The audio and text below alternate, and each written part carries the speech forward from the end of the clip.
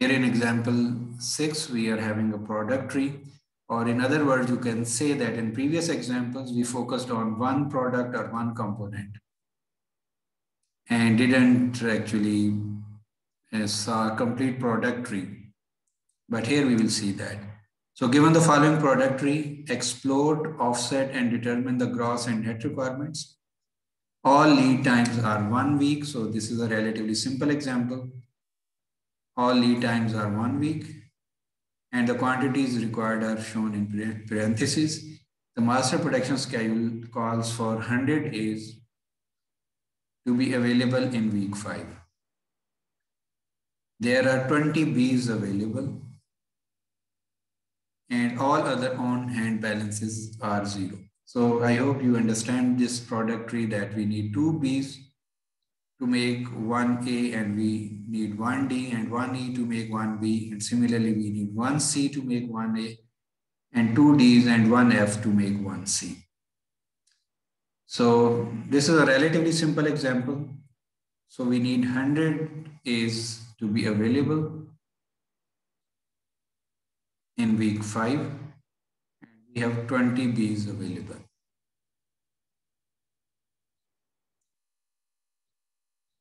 This is what we are given. All lead times are one week. So again, this is a relatively simple example, but here we will see the child-parent relationship and we'll use actually the bill of material to make the calculations. So as there are no requirements in this case for the first four weeks, so we could say that the net requirements So the net requirements for all weeks before week 4 are 0. So all, all net requirements are 0.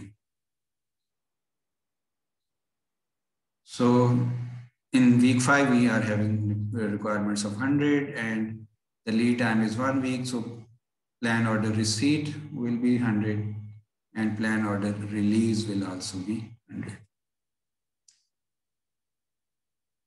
So that is a simple case. Now, we need two B's to make one A. And as I mentioned that the gross requirement for the parent, in this case A, this requirement of 100, comes from MPS.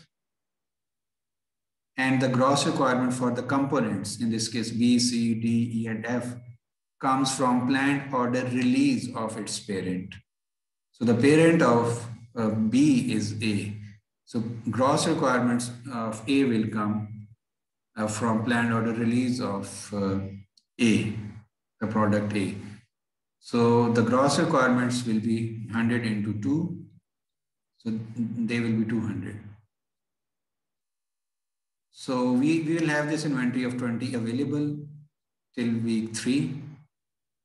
So the net requirements in week 4 will turn out to be 200 minus 20. So that will be 180. Now the order policy we are assuming in this case, in this example, in all cases, is lot for lot. In the next example, we will see fixed order quantity as well, but here we are having, for the sake of simplicity, a policy of lot for lot. So the net requirement in week uh, 4 will be 180. So planned order receipt will be 180. So the lead time is one week. So order will be placed one week earlier. So that is straightforward as well. Now the C is the component of A as well. So its gross requirement will come from planned order release of A. So a requirement of 100 because one C is required to make one A. There is no inventory available. So there are no net requirements as well till week four and net requirements 100, plan order receipt of 100 and corresponding planned order release of 100 for component C as well. Now this component D is part of B as well as C. So this D is part of B as well as C. So first we will see how much requirement is coming from B. So that is a requirement of 180. So 180 in week three and two Ds are required to make one C. So 100 into two. So that will be 200. So total requirement of 380. So there is no inventory available. So there are no net requirements as well.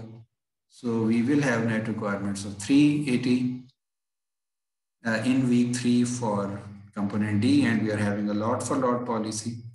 So planned order receipt will be 380 and corresponding planned order release will be 380 because in all cases the lead time is one week. So here it is one week as well as was for C, B and A.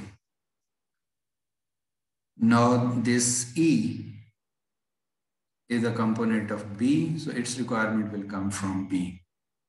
So this 180 because 1E is required to make 1B. Uh, so we will have this 180